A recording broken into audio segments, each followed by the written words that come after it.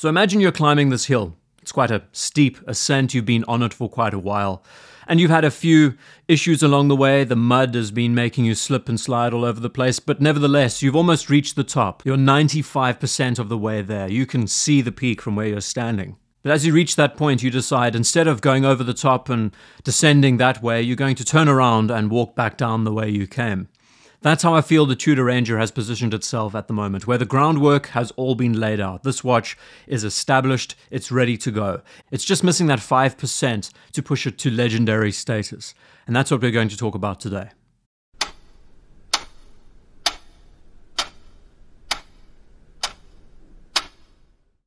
It's no secret that the Tudor Ranger release is one of the most disappointing releases I have in recent memory. Because I'd been talking about this watch for years. I'd come up with so many renders, so many ideas and concepts of where it could go how it could call back to its vast range of designs in the past and create something that's modern, something as an everyday wearer for anyone to enjoy. The resulting watch that we got in 39mm left a bit to be desired. Now, by no means am I saying it's an awful watch. It's a very good watch, very well priced. In fact, it's one of the most affordable watches that Tudor now offers. It was an exercise to reproduce a watch that wasn't as successful in its 41mm size, this one a little bit smaller in scale, that referenced the legendary 7991 with the single line of text and the Shield logo. And when you take a step back and you look at this watch entirely, you look at the case, you look at the finishing, the fact that this watch is almost entirely brushed. You look to the bracelet, the new micro adjusting system. The watch now lacks rivets on its bracelet, and on the whole, it's a very pleasing presentation. But when you see this watch side by side with a 39mm Explorer,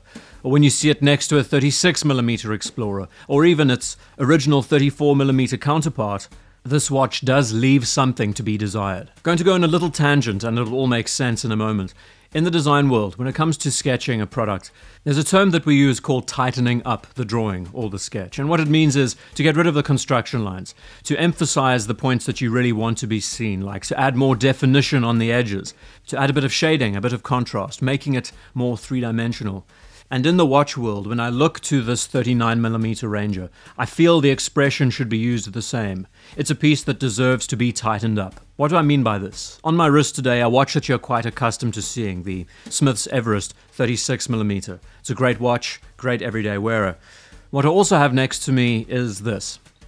Not a Tudor Black Bay 36, it's a Black Bay 32. It's a gift I bought for someone very special to me.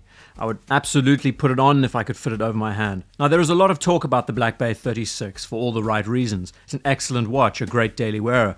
Not much spoken about the 32mm. I think largely because it's seen to be a woman's watch and not one that a male could really wear.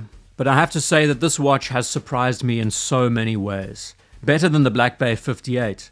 And it has to do with tightening up.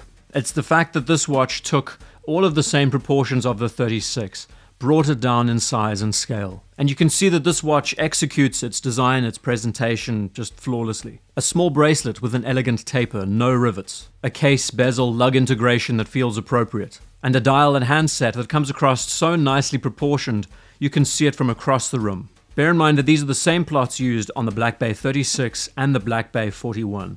All that's happened is that these plots have been put on a smaller dial. When I look at this watch, when it's in my hand, the first thing that comes to mind is not critiquing the handset, it's not critiquing the proportions and scale on the dial. It's considering that this is the very definition of what it means to tighten up the design of a watch. And the fact that Tudor has done this as recently as 2019 with the Black Bay 32, there is nothing stopping them from doing the same thing with the Ranger, and I believe that this is absolutely going to be the case very soon. And now we can get to talking about the 39 verse 36 millimeter case debacle. It's always going to be a subject that we debate.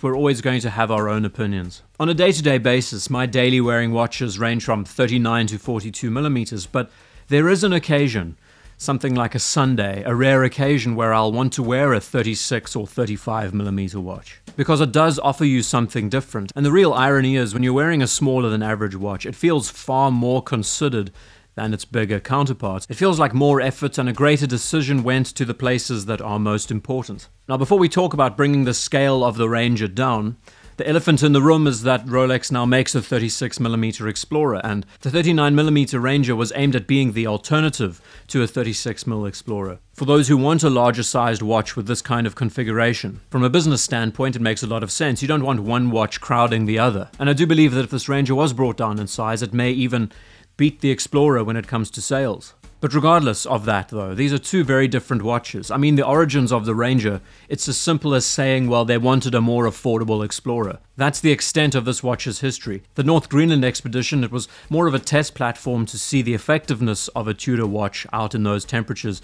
This happened a year before the Everest expedition. So from the get go, the Tudor watch was the actual testing platform. But the reality is, the Ranger has always been that goofy cousin, that alternative to the Explorer that's never been as good, using a generic ETA based movement, some of which even hand wound. Now, I know this watch doesn't appeal to everyone, from the strange numerals on the dial to the handset. And no matter what changes, this watch might never appeal to that person. So the ultimate goal, at least my vision for this watch, would be to bring it down to 36 millimeters, but do it in such a way that it still holds everything that they've established with the 39 model, while at the same time introducing a point of difference where its likeness cannot be fully compared to the 36mm Rolex Explorer. These two watches need to remain leagues apart.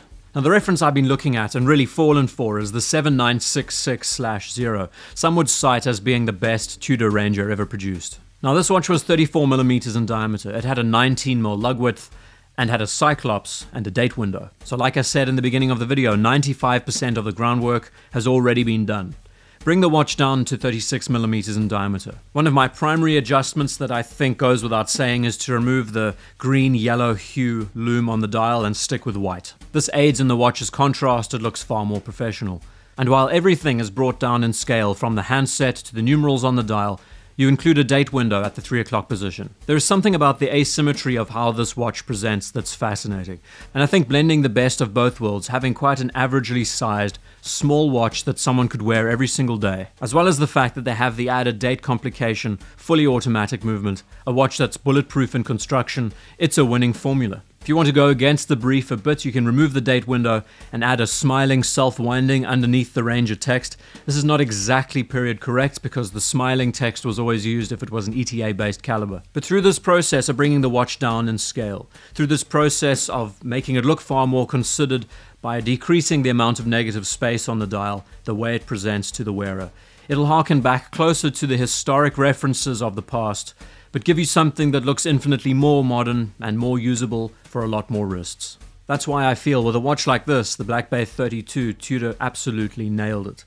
And this kind of watch could be the reference they use for the further development of the Ranger collection. I will beat on the drum until the very end that I believe the Ranger deserves far more attention. And in its current state, it is one step away from being a perfect daily wearer. This kind of watch has the same potential as the Black Bay 58. And when this piece is executed correctly, third time's the charm, the Ranger will turn many heads. That's really the issue of being a designer is that you see the potential where others might not. And all you can really do is share your ideas, your concepts, present them. Then it has to go through many different channels before it's either approved or denied. This watch has that capability of being one of the best daily wearing watches ever made, and it's so close. It is so close to being there. This Black Bay 32, when I got it in hand, it immediately inspired me to talk about the Ranger and consider that that watch deserves more, deserves better. And the fact that the Tudor has done this, presented a Black Bay in this way, they have the ability to do it. And I think it's just a matter of time until we see it done.